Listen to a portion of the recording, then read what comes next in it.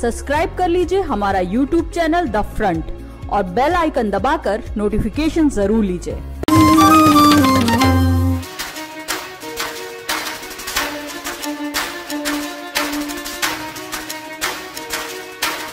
नमस्कार, मैं हूँ विवेक प्रकाश और आप देख रहे हैं द फ्रंट।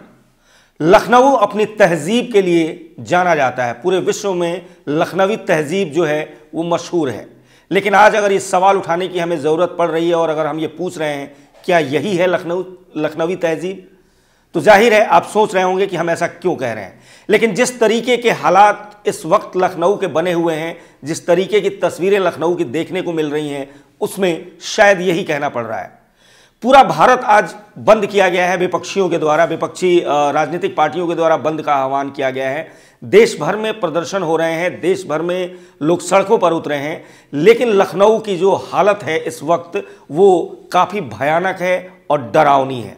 जी हाँ लखनऊ में कोर्ट के बाहर हज़ारों की संख्या में पुलिस की गाड़ियों और पुलिस की मोटर बाइक्स को जो है, वो जला दिया गया है। इसके अलावा मदेगंज पुलिस स्टेशन के पुलिस चौकी जो है, उसके बाहर जो है आगजनी की गई है, थाने के अंदर तोड़ फोड़ की गई है। लखनऊ के और ख़ास करके पुराने लखनऊ के अलग अलग इलाकों में इस वक्त जो है, वो घमासान मचा हुआ है और हिंसा की कई सारी तस्वीरें देखने को मिल रही हैं, सामने आ रही हैं। सवाल ये उठता है कि प्रदर्शन विरोध क्या इस तरीके से होना चाहिए?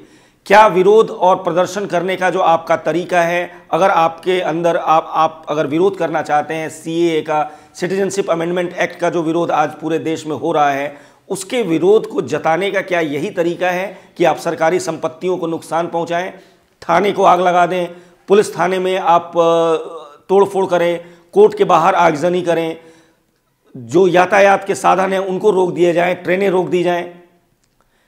लेकिन इस वक्त जो हालात यूपी और अन्य शहरों के देखने को मिल रहे हैं, वो कमोबेश ऐसे ही हैं। संभल से लेकर के लखनऊ तक और यूपी के कई अन्य जिलों में इसी तरीके के हालात दिख रहे हैं, जहाँ हिंसा और आगजनी की घटनाएँ सामने आ रही हैं। सुबह सुबह जो है, आपको बता दें कि सुबह सुबह यूपी के जो डीजीपी हैं, उन्होंने साफ़ तौर से ये कहा था कि किसी भी तरह की हिंसा को बर्दाश्त नहीं किया जाएगा और पुलिस चाक चौबंद रखी गई है। सारी व्यवस्था पुलिस को मुस्तैद किया गया है ताकि किसी भी तरीके से कोई हिंसात्मक वारदात होने से पहले उसको काबू में किया जा सके। लेकिन इस वक्त जो लखनऊ के हालात बने हुए हैं, वो पुलिस और पुलिस व्यवस्था से के हाथ से बाहर जाते हुए दिख रहे हैं। हज़ारों की संख्या में पुलिस वाले तैनात हैं। आँसू गोले छोड़े जा रहे हैं। लाठी चार्ज की कोशिश हो रही है और पुलिस उपद्रवियों तक तो पहुँचने की कोशिश कर रही है। लेकिन जो प्रदर्शनकारी हैं, उनकी तरफ़ से गोलियाँ चलाने तक की आवाज़ सुनाई दी है।